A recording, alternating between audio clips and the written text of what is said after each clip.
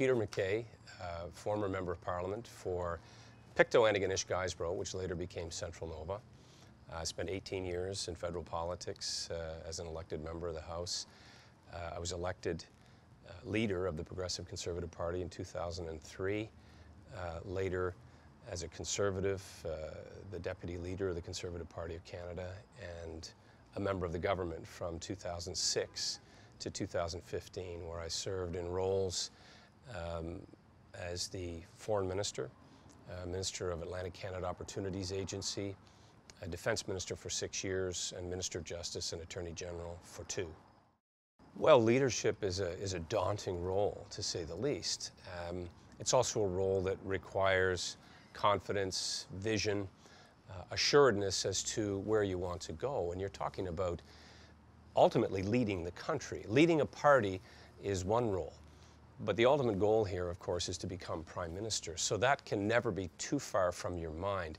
But I have to go back to 97 when I was first elected. I was 31 years old.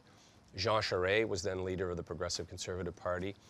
He was a pivotal figure in my decision to enter public life, uh, which throughout my life to that point I had uh, assured myself and everyone else it was not the path that I was going to take. I was quite content working as a Crown Attorney and practicing law. Jean Charest, within a year of my being elected, um, marched to a different beat and left federal politics to go back to take on Lucien Bouchard at a, at a critical time. And certainly in retrospect, that was the right thing for him, for the country. Difficult decision though it was, and I, and I was with him during that time. And I, I, have to admit, felt a bit of disappointment having entered federal politics under his leadership, and in large part because of his dynamism, his leadership, and somebody who I, I really thought had uh, tremendous uh, skill set. Uh, so there we are. We have uh, a leadership contest. I truly didn't think it was my time. I was still wet behind the ears, as they say around home, and uh, still learning the ropes in Ottawa, to mix metaphors. Uh, fast forward a few years, Joe Clark wins that leadership in uh, 1998. We're back in the House. We have roughly 20 seats after the corporate downsizing of the party in 93 when the Conservative Party really was in shambles. Uh, there was a, a, basic fragmentation, the Bloc, the Reform Party. Um, and while the numbers of the Progressive Conservative Party were still competitive, the seat count, uh, it, was a, it was a devastating election to say the least. Joe Clark uh, took on the role, uh, certainly brought a tremendous amount of acumen and history within the party. As he returned to politics, uh, it didn't go as we hoped it would. Uh, in, uh, in many ways, in the election of 2000, we, we found ourselves uh, again uh, coming out much short of where we wanted to be. The party just barely maintained status within the House of Commons. And uh, Mr. Clark made the decision to leave in, in August of 2002. so the opening presented itself again within, within a relatively short time. And after some considerable contemplation and consultation with, uh, with family members um, here in my constituency, the network of people that you inevitably encounter over life in politics. I wasn't married at the time. Um, that was certainly a major factor in the decision uh, because of the investment and the the, the, no small amount of stress and strain that is placed on the family in a leadership role. So I made the decision to run. It was a lengthy campaign. It was uh, 10 months before the convention in Toronto in uh, late May and June 1st of 2003. Uh, why is that context important? Because when I entered politics, the Conservative Party was at its lowest ebb in our history uh, in terms of both seat count, organization, the fragmentation that I described, and the reality that we had two competing conservative parties as opposed to a unified conservative movement in Canada. there was a regional dynamic here as well. We were shut out in Quebec virtually, although we had come back with a few seats, and people like Andre Bachand uh, and a number of others. We had a nascent growing ground game in that province. We had a strong base in Atlantic Canada. Ontario was where vote splitting was significant. That is to say, running two conservative candidates against a Liberal or NDP candidate was virtually futile. We would split the vote in such a way that it, it was literally impossible for a conservative to win, although there were a few exceptions where it happened uh, and some anomalies. And then, of course, the Reform Party was dominant in Western Canada. And it was arguably the, the base of the Progressive Conservative Party for years, including the base that had elected Joe Clark, elected Brian Mulroney, certainly elected John Diefenbaker. But there were other elements, including newer elements, remnants of social credit. Preston Manning, uh, in standing up this Reform Party, drew heavily from the Conservatives and fostered a sentiment of, I don't want to say separatism, but Western alienation and anger directed towards the center, what Westerners would call the East, what we in the East would call Upper Canada. Uh, I, I, always used to uh, sort of cringe when I would hear people criticizing the East, and I would say, well, wait a minute, you mean Ontario and Quebec. So it, it's, it's all perspective, depends on where you sit. Conservatives only win when they're in coalition. Uh, history proves that time and time again, and let's not forget, the Conservative Party historically put the country together because of coalitions. I mean, John A. Macdonald was outward looking, visionary in the extreme. Uh, although he was in politics a very long time, he, he saw uh, the country in its evolution. He, he took very risky decisions, uh, reaching out to rivals, bringing people in. The, initial party was called the Liberal Conservative Party. Uh, people sometimes forget later it went through other iterations, and the progressive name, which was grafted onto the Conservative Party, was actually a Western, agrarian based um, party that, that very much had antipathy and anger towards Ottawa. Sounds familiar. And so coalitions were, were not uncommon within the conservative movement, let's say in Canada. But to come back to your question, um, my own experience in politics and my, my view is, is that you change the party from within. Yes, there could be evolutions and ebbs and flows as far as policy, uh, direction, regional tensions that exist, personalities which are unavoidably important within the, the rank and file. But like a marriage, you don't divorce yourself or, or break away uh, when these tensions arise or, or when there is a necessity to compromise and, and work it out. Just like you don't burn down your house when you want to renovate. You, you renovate within and you make the changes. And that may mean taking it right down to the studs, but it means working within the framework of what is the conservative movement. And, and I would suggest that throughout the history and evolution of the Conservative Party, um, all of these tensions and, and natural differences that do exist because of perspectives and because of upbringing and outlook, uh, there was always very much uh, cornerstone, a foundation upon which conservatives operated. Smaller government, lower taxes, strong support for our military, more of a law and order party, almost a natural mistrust of big government.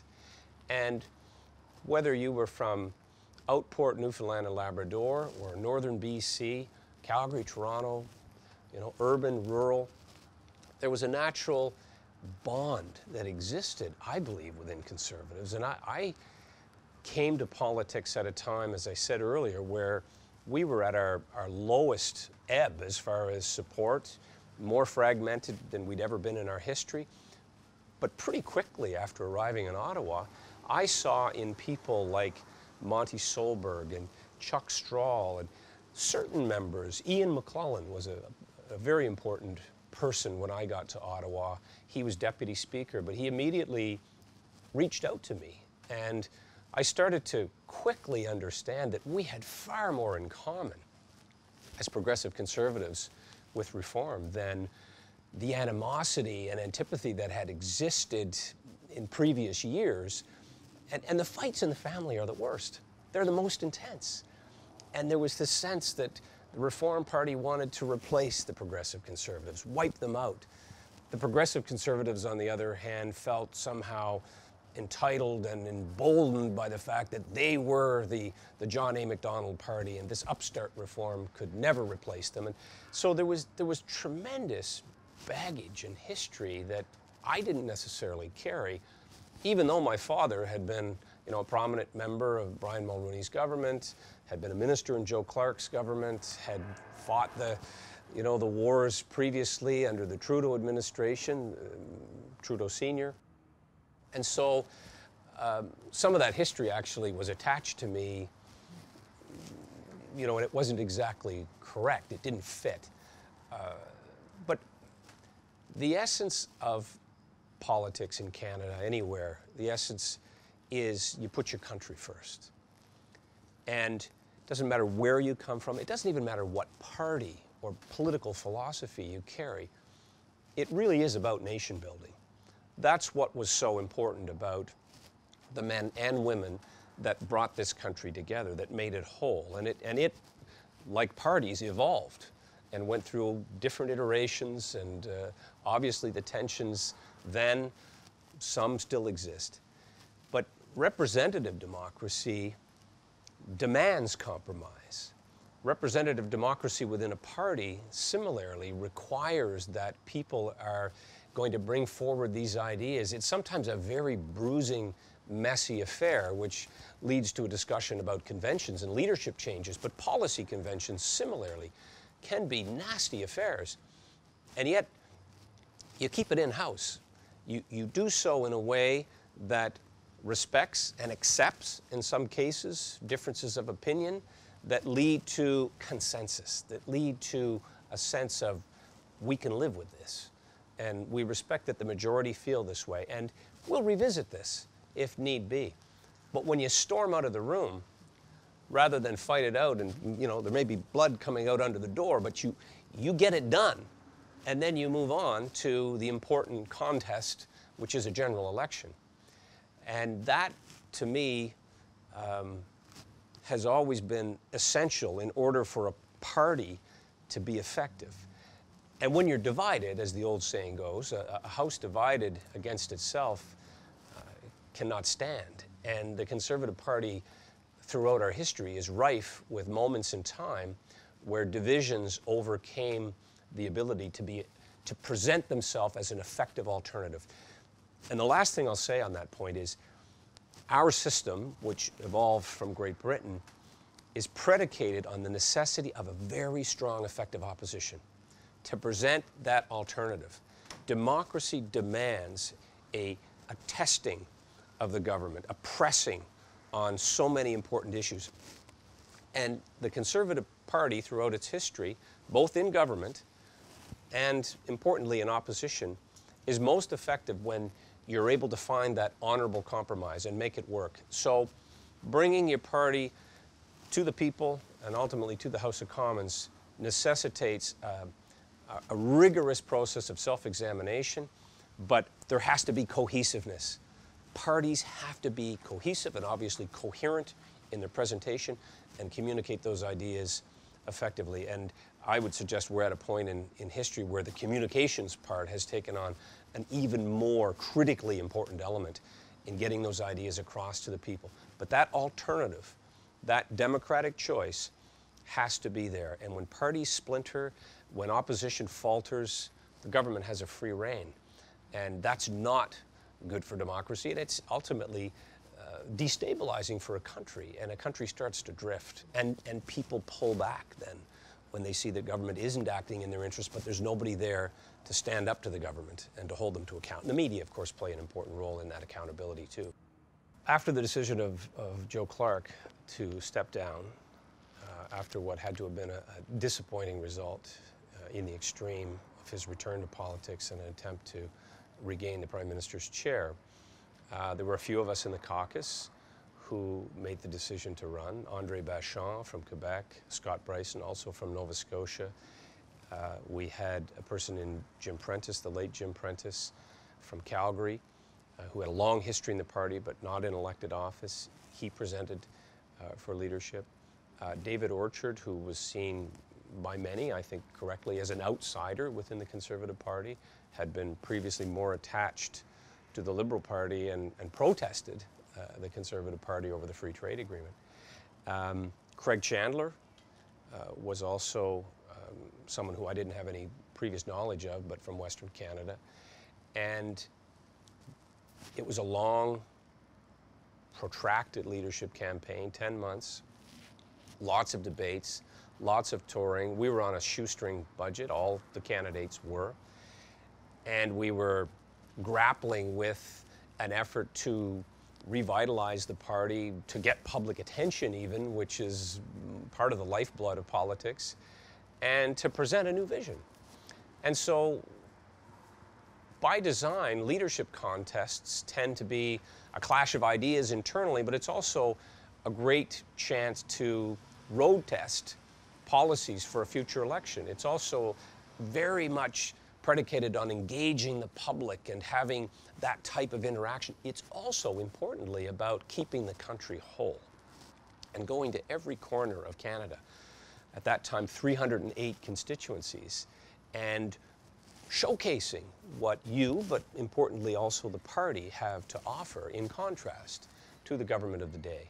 Even during a leadership convention? Even during a leadership convention. It's, again, to me, the brand of the party is, is always on your shoulders. You're wearing a team jersey. I make too many sports analogies, but it, it, politics is a team sport. It's not an individual sport.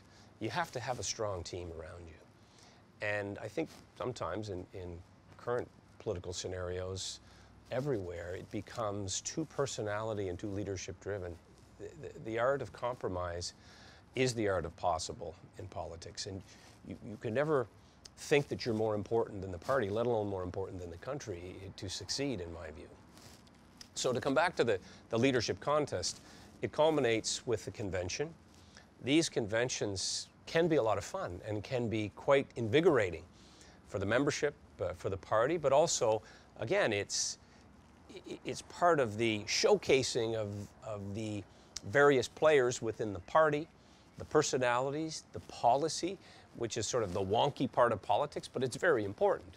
I mean, policies decide how budgets are made up. Policies decide how prevalent the environmental issues are going to be. How do we address First Nations issues? What about our military and foreign policy involvement uh, outside of Canada's borders? How do we ensure equality and justice within our system? These are all wide open discussions that happen and, and really quite stimulating for, for Canadians who actively participate in our political process. And democratically, it's decided where the party will go. And where the party and the leader goes is where the country goes in most cases, should you be so fortunate to become elected and form a government. And so all of these nascent, sometimes convoluted processes that many Canadians who are not active and, and don't hold party memberships, which is the majority of Canadians, uh, and really who tune in perhaps only around election time and the seven seconds that they might get on the nightly news or browsing through their, their email accounts. All that heavy lifting and hard work is done by party activists and people who really dial in, and, and this is also evolving. I think while there's a, a recognition of the importance of politics, there's a waning level of participation, and I don't mean only in, in elections themselves in terms of declining voter turnout, but also getting young people to actively engage in the political process is critically important. But many, I find, are drifting more towards NGOs or pursuing other means to express themselves, which is all okay. But I'm of the view that the party system and the political process in the evolution of our country is so important and necessitates involvement. It necessitates participation of people from all walks of life, uh, of all backgrounds, of, of, of all uh, obvious outlooks, to get the broadest possible consensus. You need broad bandwidth for a party to really represent the country because this is a big, diverse, unnatural country in some ways. Unnatural in the sense that, you know, our affiliations in some ways historically were more north south than east west. Well, it's very problematic when people disengage or worse, feel so cynical and so disaffected that they deliberately opt out. Uh, that, that starts to crumble some of these foundations and institutions that make up the country. And it also undermines democracy, in my view. You know, many people will say, and it's kind of a harsh expression, that if you don't vote, you know, don't complain. But there's some truth in that. Uh, if you don't at least cast a ballot, it, it does undermine some of your ability to say, you know, I don't like the government or things should change. The leadership process is decided by the party membership. Uh, within the conservative movement, we have tried different iterations of leadership contests. Uh, the one I participated in in 2002, 2003 came about um, as part of the the process that mirrors our, our electoral process. That is to say, there was equal representation from every riding in the country. And this was informative, instructive for me as to why you had equal weighting of every riding. So my constituency, which has population of roughly 85,000 compared to well over 150,000 in a Toronto or Calgary or Montreal riding, gets an equal voice in the House of Commons, one person representing that constituency. In a leadership contest of the variety that we used, it was the same. You had delegates coming from every constituency in the country. And why is that important? Because it then necessitates that the leader court those constituencies equally and spends time investing themselves in representing that riding.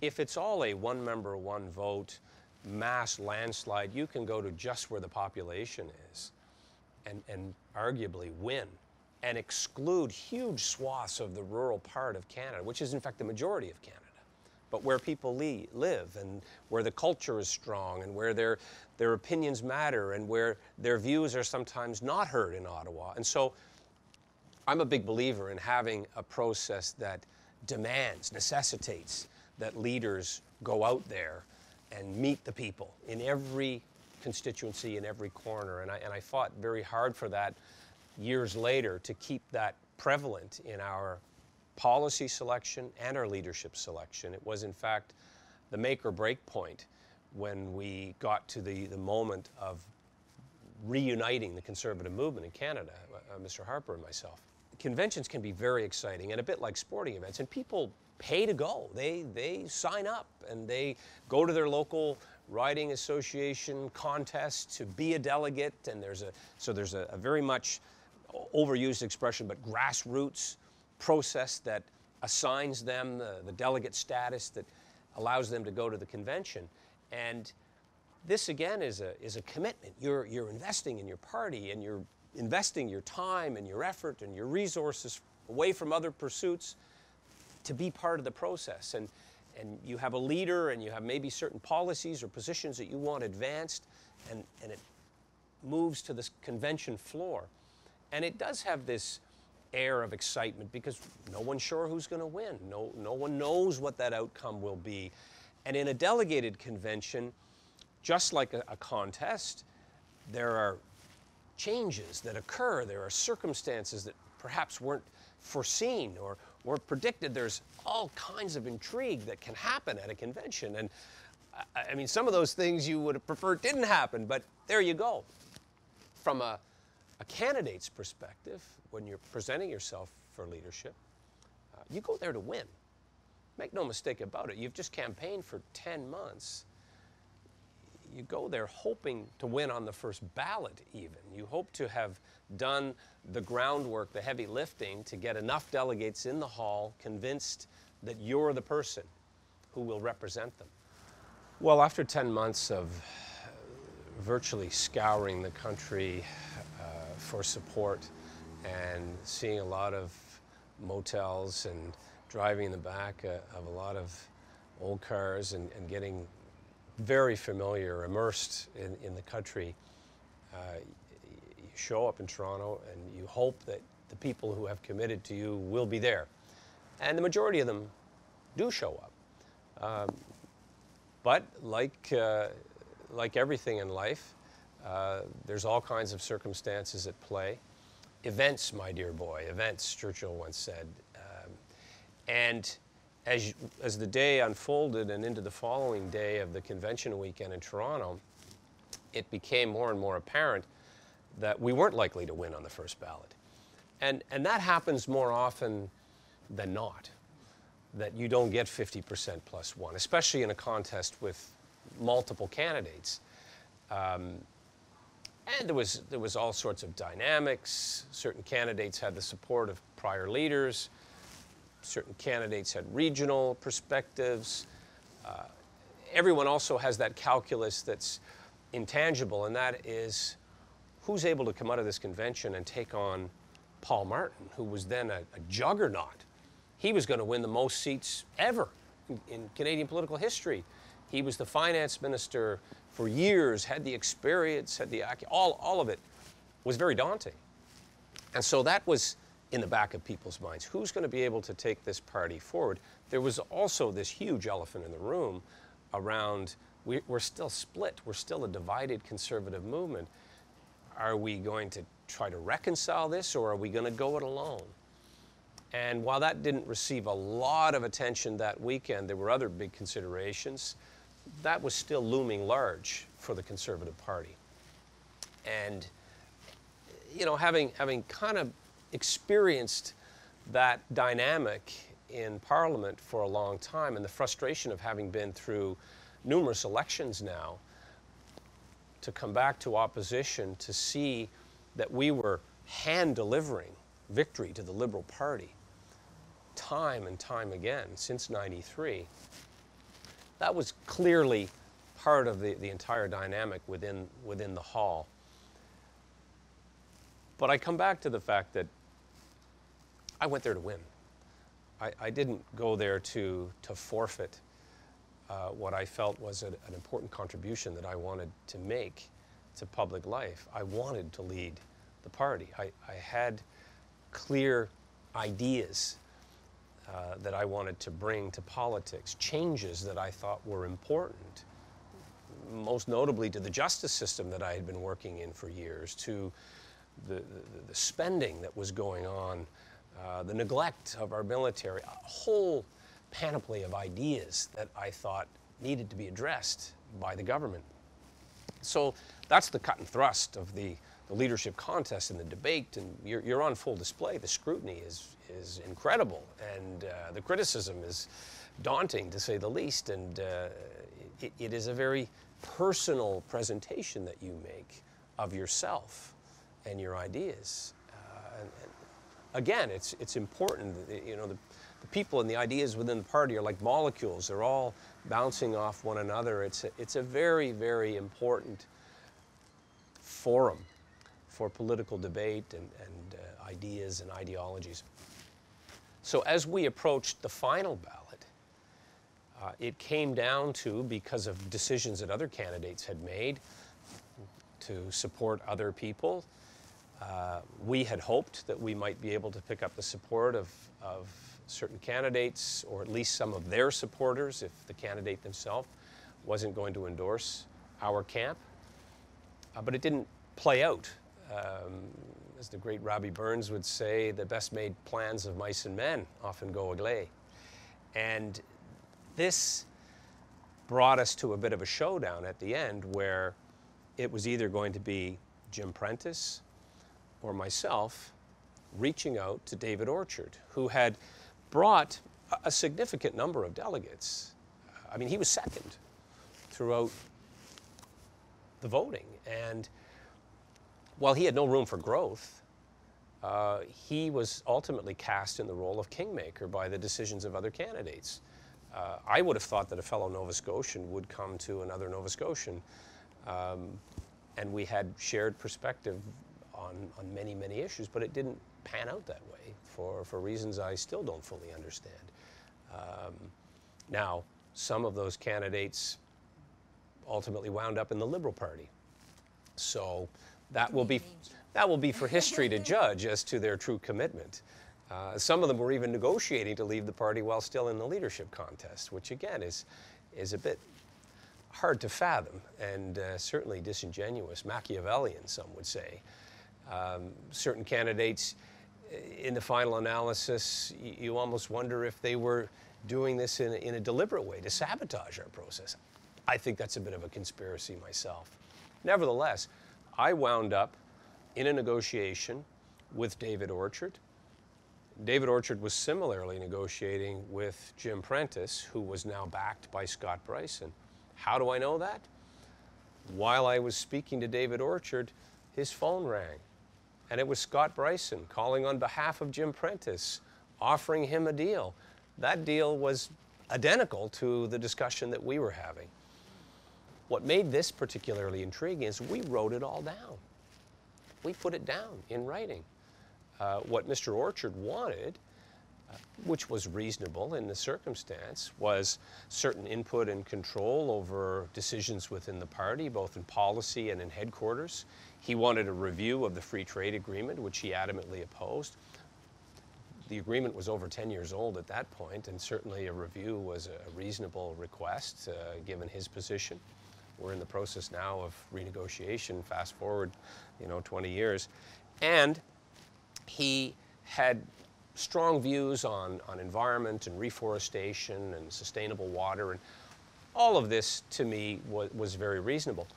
The more controversial element, as it turned out, of course, was no merger, no talks, no single party. Um, and looking back on that, uh, that was the position of the Progressive Conservative Party as stated by the members. We had a 301 rule. I said 308 earlier, it's, it was 301. And what that meant is we had to run a progressive conservative candidate in every single riding. So that necessitated no merger. I knew we couldn't, we, had, we could agree to that because we would have to go back to the membership in any event, which we ultimately did, and, and we'll, we'll come to that. And so this looked like a, a reasonable proposal to me that I could certainly agree to. Our big mistake in retrospect was because of the pace of the convention and because of the, the way that things unfolded, and we should have anticipated perhaps that we would find ourselves in this position. Um, communicating all of this was very difficult, particularly in the time crunch that we were in and, and the electric atmosphere that existed. And nobody throughout the, the entire process had, you, you know, the traditional conservative base, the supporters that, that we were reaching out to, very few of them were comfortable with David Orchard, the people that, that were at the convention. He had almost a cult like following. And to a person, they were there because of David Orchard, not because of the Progressive Conservative Party. And there was a look and feel in his camp that was completely different than everybody else in the room. Others were distinguishable by the t shirts and buttons they were wearing, but David Orchard's people were David Orchard's people. And so many commentators and, and even some of the other candidates had cast him in a very negative light. I had actually while I differed with them strenuously on policy, said, well, this is a democratic process. People have a right to run and present their ideas. And the inclusiveness of the Conservative Party, to me, was and is very important. Uh, if people want to bring their ideas forward and the membership embrace it, that's fine. If they reject it, you have to accept that as well. And so, with that in mind, signing this agreement, I knew that it would have to ultimately be vetted and approved by the party membership. So when we signed this agreement, we went back to the hall. The next ballot uh, had already been cast. The results were released. I was still short of the 50% plus one necessitated to, to win. He had 25% from start to finish. That 25% came to me, so I, I won the convention with over 65% of the delegate support, which is a, a pretty strong majority in a convention with that many candidates. But it was seen by many and cast by the media and the pundits as a poison pill. That, well, even though David Orchard had 25% of the delegates and had campaigned like everybody else, and we had differed but had, uh, you know, a cordial relationship throughout the campaign. This was described as the deal with the devil. It was Faustian.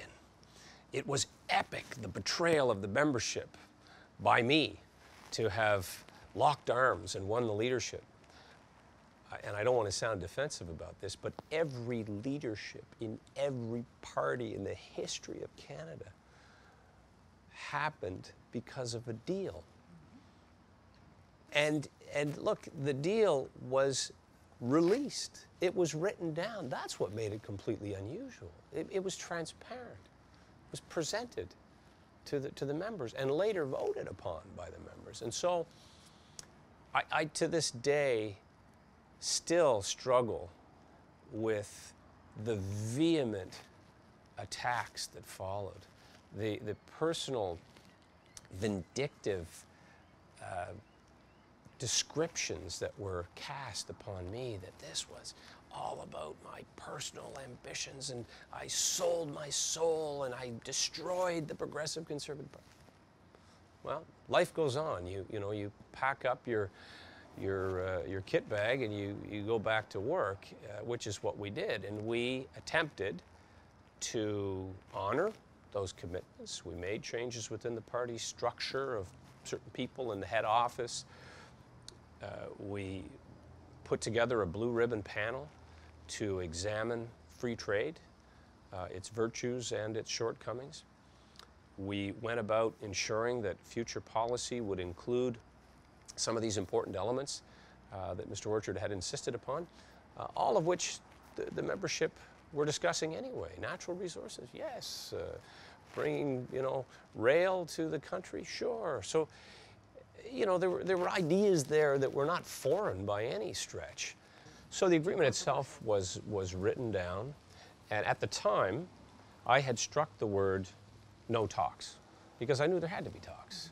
I mean, we had to cooperate at a parliamentary level, but the talks were happening. They were happening across the country in riding associations. Pe people were trying to find a way to end vote splitting. People wanted to do runoff nominations. There was talk of a non-aggression pact where we wouldn't run a candidate in certain parts of the country or certain constituencies. So talk was was happening everywhere and it was organic and there was no way to stop people from talking within the conservative movement. Why would you? So I took that out knowing full well that uh, you know talks were going to continue. The no merger part was easy because, as I said, there was there was a, already a policy position taken very strenuously that we would not merge, and and you'd have to go to the membership in any event. It wasn't a decision that a leader could take, and. We, we went about honoring that agreement and we went about building the party. We went about, you know, it wasn't like you could just go and now sit in a, in a room or go back to Parliament and let things unfold. There was a lot more work to do. Now that I had become leader, it was hit the road again, Jack, and there was a lot of um, heavy lifting. I still had a constituency to represent.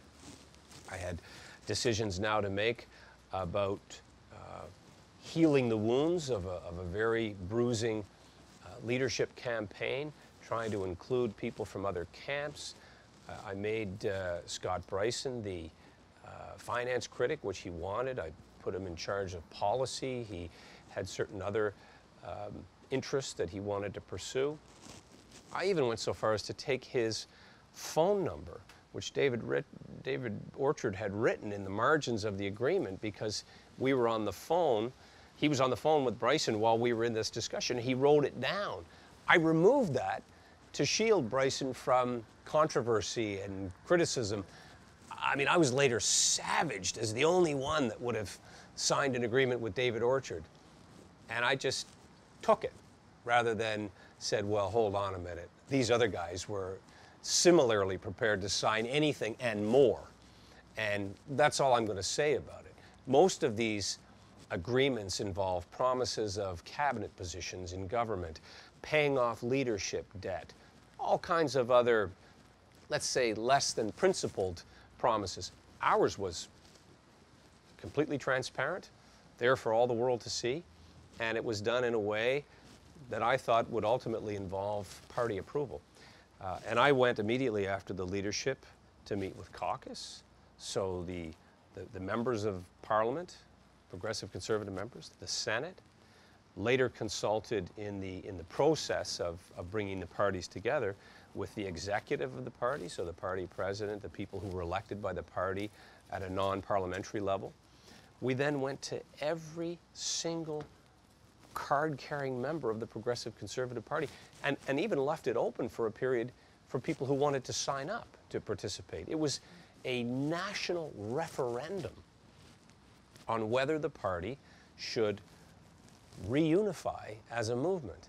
There was, to that point, short of the, the Quebec referendum, nothing that was comparable. But it was obviously all within the conservative movement uh, and sort of flew under the, the radar. Very simple question about whether we should reemerge as one political ident- uh, entity to present itself to the country as an opposition to the Liberal government.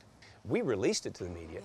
But we waited 48 hours because I wanted the opportunity to go to the elected members and the caucus first. I felt I owed them that. Plus, we made the deliberate decision to remove the, the phone number to avoid further controversy and, and shield another leadership candidate from the criticism that I was receiving. Uh, in, in retrospect, that, that was probably too magnanimous. But in any event, I, I was a little taken aback, to say the least, at the, the, the incredible backlash from some members of the party, but the media presented this as the, the most sinister and, and underhanded uh, move that had ever cur- occurred in recent political history. And nothing could be further from the truth.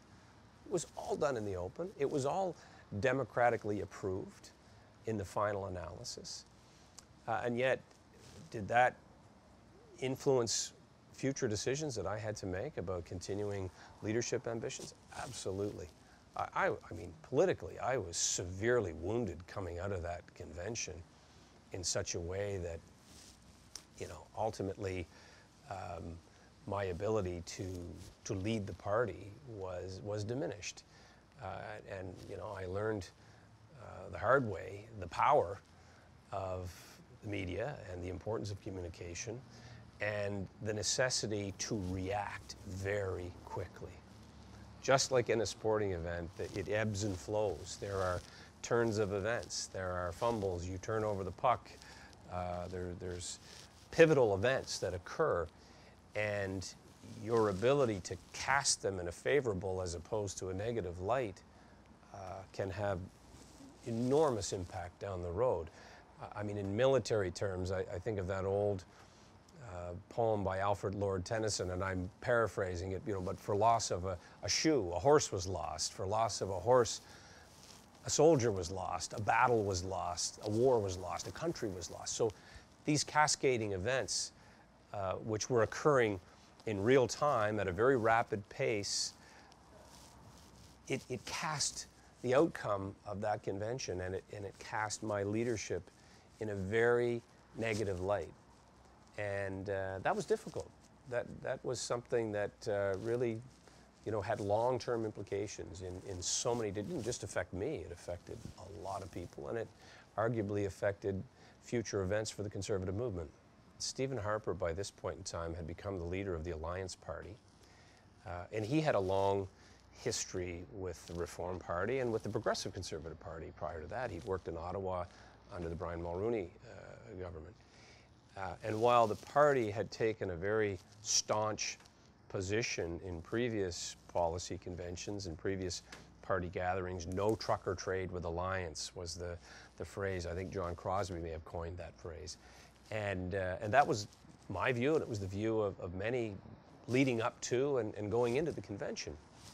Even though we had made, we, uh, members of both the Alliance, previously Reform, and Progressive Conservative Party, had various interactions in the House. We cooperated at committee levels, in, in debates, and as I said earlier, there was a, a, recognition on the part of many that there was a lot more that we had in common. And th- this practice of attacking each other, I mean, the Liberals would light up in, in glee. Uh, and there was also this looming election, which had a lot to do with the accelerated pace at which certain decisions and actions had to be taken. So, to answer your question, I ran into Stephen Harper in the lobby of the House of Commons, and I simply said, sort of as an offhand comment, we should talk sometime. And there had been a lot of back and forth, and some of it in the media, and some of it very unhelpful on, on both sides. Um, and so that again made some of the dynamics awkward and hard to overcome at first. But the bigger picture was a growing number of conservatives uh, and interested Canadians, particularly many in the business community, because democracy was broken. It was dysfunctional at that time. The Liberals were going to win no matter what. That's not a competitive democracy. I'm a big believer in competition and that's what tests you in the arena. Like the old gladiators. I mean, it's getting in there and on full display, putting it all out there and, and giving people choice. Democracy, it, it has to have choice and, and a reasonable choice to boot. And so, with some of that and, and what I had been through at the convention and uh, all of the, the backlash, and you know, there was a, I guess, I'm a bit of a contrarian at times, and when it occurred to me pretty quickly that people did not want the conservative movement to get back together. If you're a liberal or a social democrat or somebody who doesn't like the conservative movement, you, you don't want to see them get their act together. You, you don't want to see a strong conservative movement.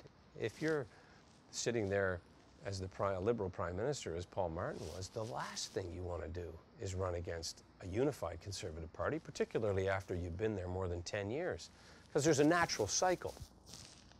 And because of vote splitting, we were missing the natural cycle. The cycle had now been broken. The formula was, was no longer there. That, you know, the Liberal Party governs, certain things happen, the country can turn to the Conservative Party. That was no longer possible with two conservative parties being presented and vote splitting. So we had to go about fixing that. I, I, had been a believer of that for some time, although nobody thought it could happen before the next election. Keep in mind, a lot of this is, is now in the fall of 2003. The election is in the spring of 2004. To try to, you know, unscramble that egg in less than six months, pretty uphill battle the whole way with people pouring hot oil on you the whole time. It was challenging to say the least. And so the talks were very nascent in the beginning, although there was lines of communication that had been opened for some years, including the difficulties that the Alliance Party went through. Preston Manning has now been ousted. Stockwell Day is the leader. They're having a leadership crisis, which results ultimately in Stephen Harper becoming leader of the alliance. They had members who had defected, had left, and had come and sat with us in coalition. It was the Progressive Conservative Reform Democratic Alliance, uh, PRDC, I think was the, the, the acronym. In, in any event, we had come to the conclusion that it probably wasn't going to happen, but we owed it to the country and we owed it to our membership to at least try. And so talks. Talks began. Talks were, were more formalized now. The, the informal talks had been going on for some time. And Stephen Harper, through emissaries and outreach, and, and myself through the same, decided in, in relatively short order after the leadership. I was a new leader. He was a new leader. We didn't have all of the same predilections that perhaps the previous leaders had, and the history between Mr. Manning and Mr. Clark was also a factor. Uh, I think that kept the two parties in separate corners. It started very organically, and we ultimately uh, decided upon a process of having emissaries on our behalf. In my case, I was blessed. I mean, I was so fortunate of all the esteemed members to get involved in this process. Don Mazankowski, an iconic progressive conservative, former deputy pr uh, prime minister uh, from Western Canada. Bill Davis, uh, former premier of Ontario, head of the Big Blue Machine, uh, someone who knew a lot about compromise and having run minority governments and having worked in many channels to, to reach out to people. And someone who was a very close friend and confidant throughout my leadership and my time in, in Ottawa was Loyola Hearn, who also had provincial political experience, but was just a, just a tremendous man, a, a prince of a man, really gracious, full of common sense, uh, very loquacious, outgoing. And so with that team and people on the other side that Stephen Harper had appointed, uh, they sat down with this very daunting, onerous task of trying to maybe weave together some agreement. As I said before, there was talk of non-aggression pact. We don't run in certain ridings, they don't run in certain ridings. Nobody really liked that because, again, you were taking away choice as opposed to presenting a unified front. And word came back from these early discussions quite quickly that we might be onto something. This, this could actually work. Uh, and it might happen much quicker than anybody anticipated.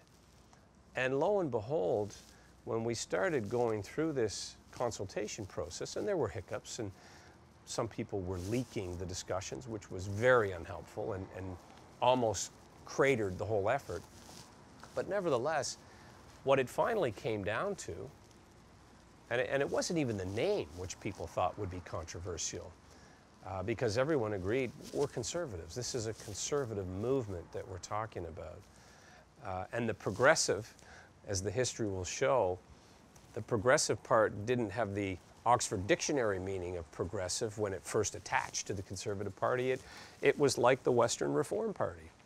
It was the big P progressive that had resulted in a coalition, I believe in the 1940s when John Bracken was leading the progressives and then briefly led the, the progressive conservatives. And so those previous coalitions were also helpful, uh, instructive. And what it came down to in the end was this controversial issue of how you choose policy and how you choose leaders.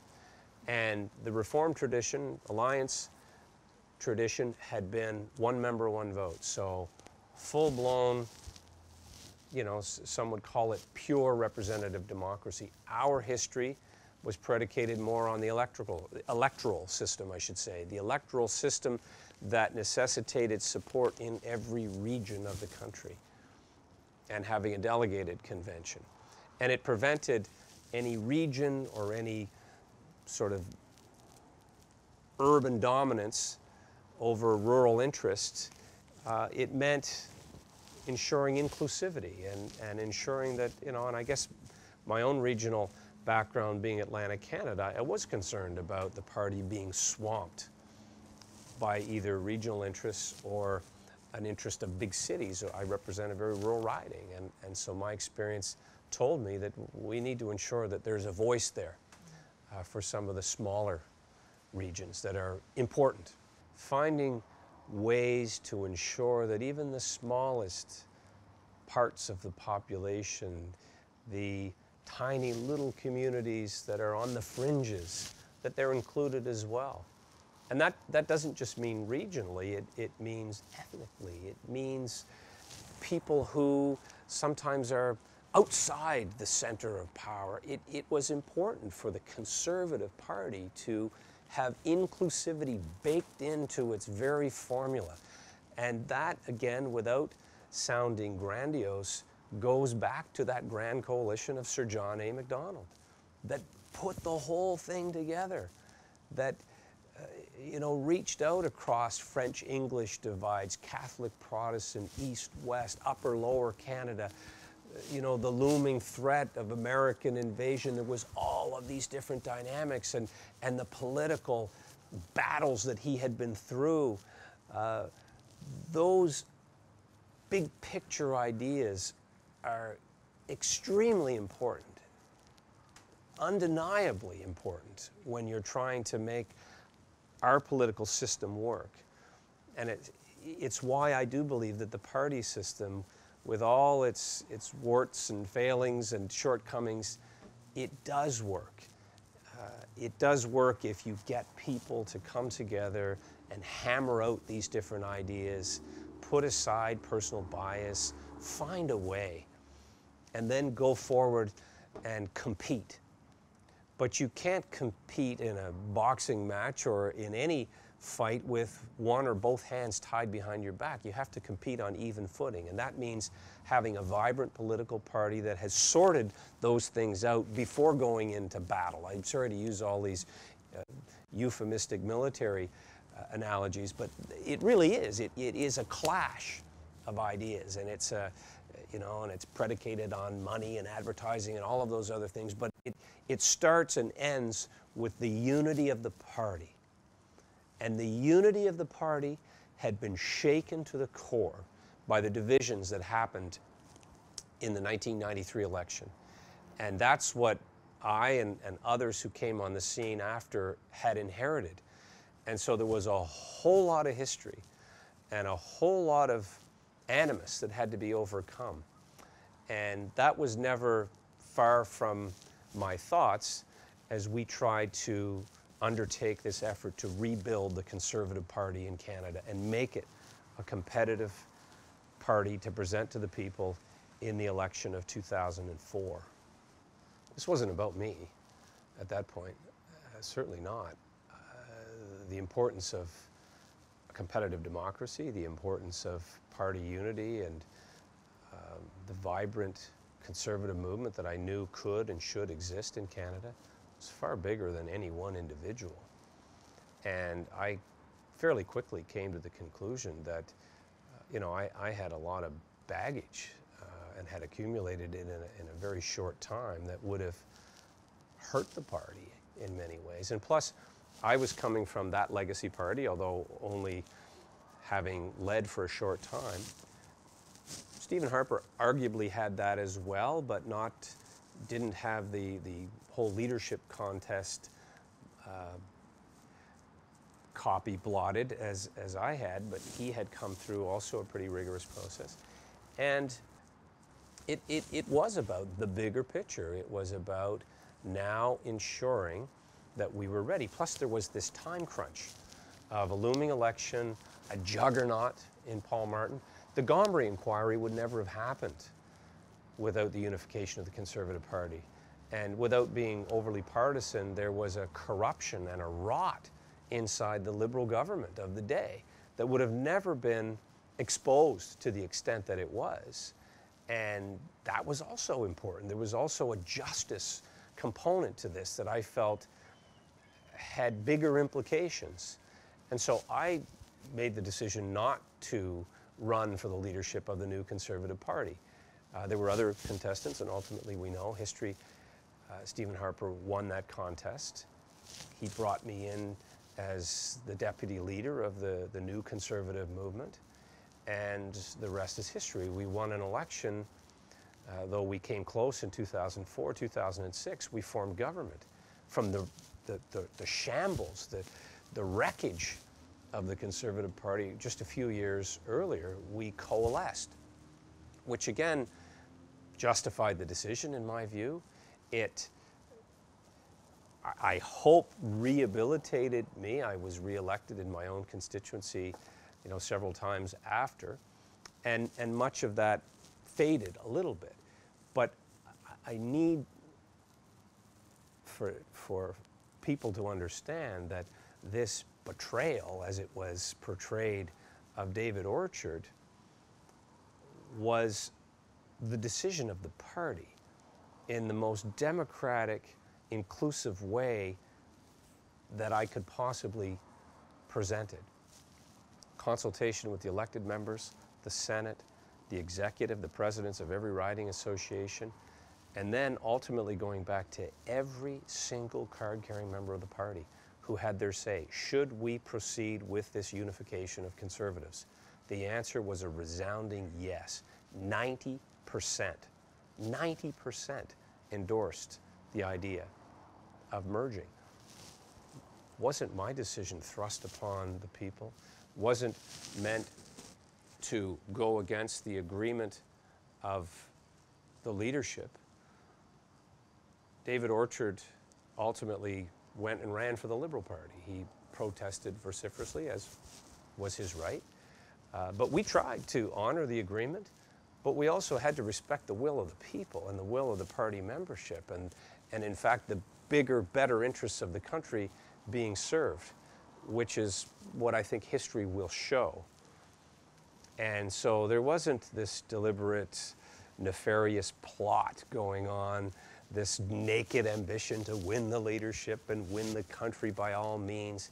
It was about building the foundation and, and the blocks necessary to have a competitive democracy. And if people say, What do you want written on your political tombstone? I would say I'd put the country first. Well, I think the role of the media is, is an absolutely essential role in informing people, uh, an informed electorate. Uh, citizens need to know what they're supporting and not supporting, and the media are the, the purveyors of information. Now, are they the purveyors of truth? Is an important consideration. And therein lies that accountability mechanism that is very prevalent in politics and elected office. You have to go back to the people. You have to reapply for your job. You're, you're constantly under the, the, the microscope and, you know, how that is portrayed is, is sometimes what I struggle with in terms of modern media. And I think the media are under a lot of pressure, like many professions. Things have evolved very quickly. The, the advent of social media has undeniably changed the way journalism operates and has caused huge pressure. Now, I'm from a coal mining town. I know that pressure is what turns coal into diamonds, so it, it can work in a positive way or it can crush you. And I think competition is also an important part of the media. They're competing now with social media, which is instantaneous reporting with very little fact and often a lot of editorial opinion. And so that has caused a bit of a distortion in how things are reported, how they're presented to the public. And so that has cast a bit of a negative light, I think, on media in a way that perhaps didn't exist when there was fact checking and the paper that was released on Monday morning had a tremendous amount of oversight. And you couldn't put anything in writing because you could be sued. And there was privacy concerns and interest around ensuring the accuracy. That seems to have been blown out of the water to a large degree. And so there, there's a dangerous atmosphere out there uh, and huge public mistrust huge cynicism not only about politics which the media have sometimes fostered, but now about the media itself and the so called fake news and the way in which now the media are under a lot more scrutiny than they used to be. And so there's still an adjustment happening, and I, I think the, the, evolution will hopefully result in a, a more ethical presentation of, of news. Uh, and so again, that that accountability, I hope, will kick in and improve what I still maintain is a, an absolutely essential part of democracy. The media, uh, the way things are reported, the, the way in which the public need that independent voice, that arbitrator in some ways of what's really happening and how the public interest is, is being uh, protected. Um, there's no question that we need a strong, vibrant, truthful media.